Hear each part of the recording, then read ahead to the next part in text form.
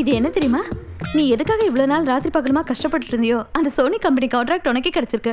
Finally you got it congrats thank you இன்னைக்கு உனக்கு என்னாச்சு? ஏன் இவ்வளோ டிப்ரெஸ்ஸாக இருக்க? What is this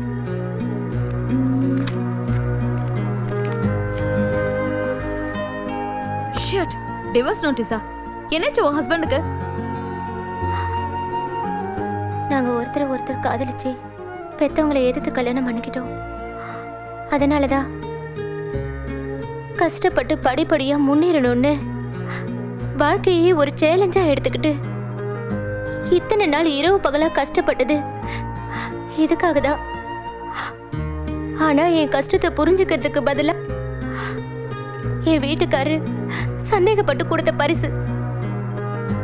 இந்த டிவோர்ஸ் நோட்டீஸ் நீ இத்தனை நாள் எதுக்காக போராடிட்டு இருந்தேன்னு நீ அவர்கிட்ட சொல்லவே இல்லையா? இல்ல. சஸ்பென்ஸா அவரை அசத்தலான்னு நினைச்சேன். ஆனா நான் தான் முட்டாளாயிட்டேன் அப்படியெல்லாம் ஒன்றும் இல்லை. நான் அவர்கிட்ட பேசுகிறேன் வேண்டாம் அவர் எப்ப என்ன புரிஞ்சுக்கிறாரோ அப்ப வரட்டும். ப்ளீஸ் விட்டுடு. செனி உன்னை பார்த்து பெருமைப்படுறதா வேதனைப்படுறதானே புரியல. ஓ வீட்டுக்காரர் மட்டும் இல்ல எல்லா ஆம்பளைங்களும் அப்படிதான் இருக்காங்க. இப்பெல்லாம் புருஷன் பொண்டாட்டி பிரச்சனைக்கு ஒரு முடிவே இல்லாம போச்சு. நாளுக்கு நாள் டைவர்ஸ் கேஸ்னு அதிகமாயிட்டே இருக்கு. இதுக்கெல்லாம் ஒரு தீர்வே இல்லையா? ஏன் இல்ல? ஒவ்வொரு பிரச்சனைக்கும் ஒரு முடிவு நிச்சயமா இருக்கும். இத பாரு பிஸ்வா. உன் பொண்டாட்டியோட கண்ணில் கண்ணீரை பார்த்த உடனேயே முட்டாள்தனமா நீ கேட்ட கேள்விதான் இன்னைக்கு நடக்கிற பிரச்சனைக்கு அடிப்படையான காரணம். First impression is the best impression நீ பாசமா அவகிட்ட காரணத்தை கேட்கறதுக்கு பதிலாக அவசரப்பட்டு சந்தேகப்பட்டு அவளை அவமானப்படுத்திட்டேன். அவ மனசை காயப்படுத்திட்டேன்.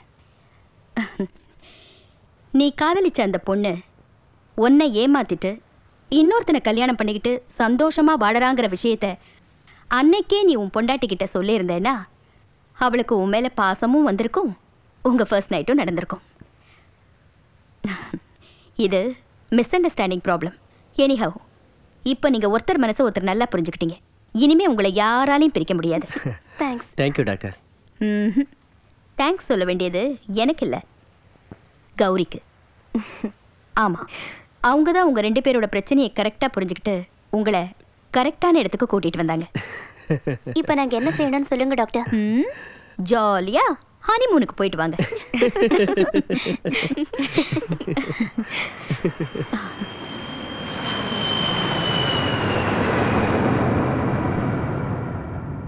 உமாவோட பிரச்சனையை கேள்விப்பட்டதுலேருந்து நான் ரொம்ப அப்செட் ஆயிட்டேன் டேட் பிரச்சனை பெருசாக இருக்க வேண்டியதுதான்.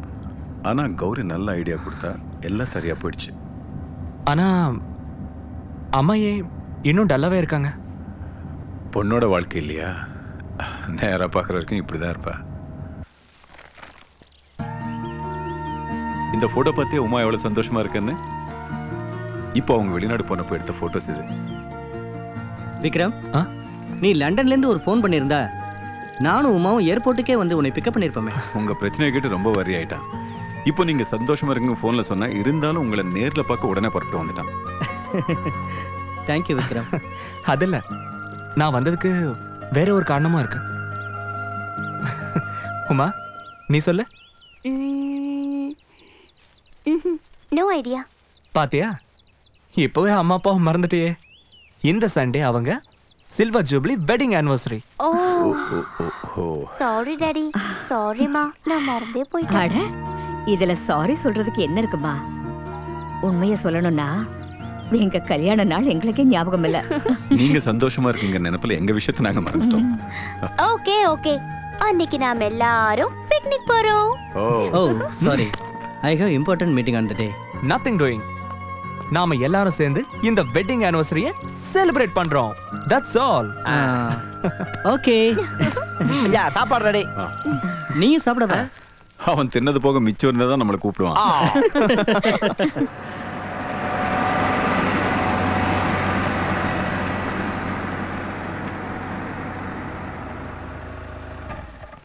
Are you happy now? Yes dad அம்மா எங்க தாத்தாவுக்கு உடம்பு சரியில்லை. ரெண்டு நாள் லீவ் வேணுமா. நீ சம்பள நாள்ல எதுக்கு லீவ் கேட்பேன்னு எனக்கு தெரியும். ஃபுல்லா குடிச்சிட்டு கும்மாள் அடிக்கத்தானே? ஆ வேணும்னா ரெண்டு நாள் இல்ல நாலு நாள் எடுத்துக்க? லீவை முடிச்சிட்டு வந்து சம்பளத்தை வாங்கிக்க.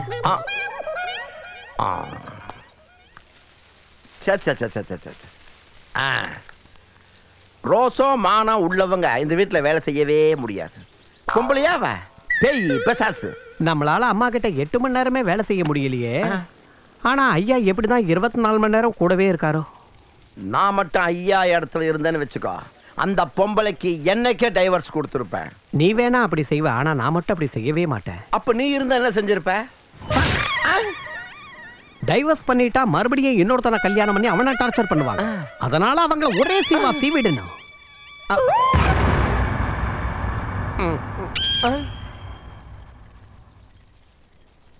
என்னது? ரெண்டு பேரும் குசு குசுன்னு? அம்மா வேற ஒண்ணும் இல்லம்மா. உங்களை மாதிரி தங்கமான முதலாளி அம்மா வேற யாருக்கும் கிடைக்க மாட்டாங்கன்னு சொல்லிட்டு இருந்தோம் ஆமாமா இந்த ஜென்மத்துல மட்டும் இல்ல. அடுத்த ஜென்மத்திலயும். இல்ல இல்ல எத்தனை ஜென்மம் எடுத்தாலும் நீங்க தான் எங்க முதலாளி அம்மான்னு சொன்னாங்க. டேய் ரெண்டு வேலைக்காரங்க ஒரே இடத்துல ஒண்ணா சேர்ந்தா யார பத்தி என்ன பேசுவீங்கன்னு எனக்கு நல்லாவே தெரியும்டா. இன்னொரு தடவை நீங்க ரெண்டு பேரும் ஒண்ணா உட்கார்ந்துகிட்டு கிண்டல் அடிச்சுக்கிட்டு கதை பேசுறத பார்த்தேன் நடக்கிறத வேற. ஜாக்கிரதை. அவங்க பேசுற பேச்ச கேட்டா எனக்கு. மூடிக்கிட்டு போடா. புலம்புனது போதும். இதை எடுத்துட்டு போய் கார்ல வை. சரிம்மா. ஆ, பாண்டியா சரிம்மா எடுத்துக்க. கௌரி சொன்னதெல்லாம் ஞாபகம் இருக்குல்ல? இருக்குமா.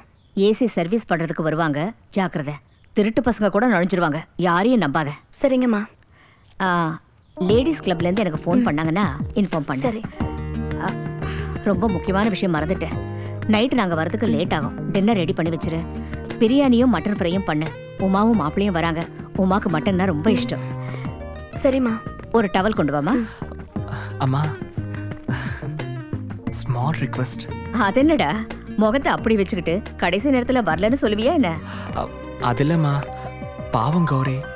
நமக்காக டெய்லி கஷ்டப்படுறா இல்ல அப்கோர்ஸ் அதுக்கு என்ன அப், இன்னைக்கு அவளையும் நம்ம கூட பிக்னிக் கூட்டிட்டு போலாமா? Please like father like son நான் நினைச்சேன் நீ சொல்லிட்ட. பாருங்க இந்த மாதிரி சென்டிமெண்ட்ஸ் எனக்கு பிடிக்காது. கௌரி உன்னை கூட கூட்டிட்டு போலான்னு சொல்றாங்க. நானா? அ, வேண்டாம்மா. நான் கூப்பிடுறேன். வா.